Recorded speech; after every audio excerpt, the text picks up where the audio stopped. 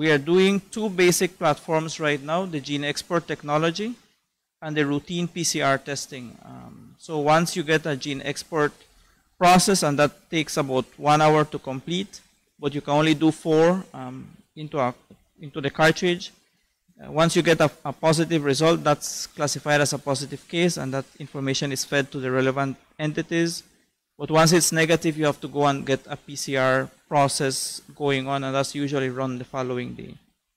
Um, we're using G GeneXpert technology for the critical patients that are showing up at different facilities because that gives you a quicker turnaround time so that you can make a quicker determination as to what you're going to do with the patient.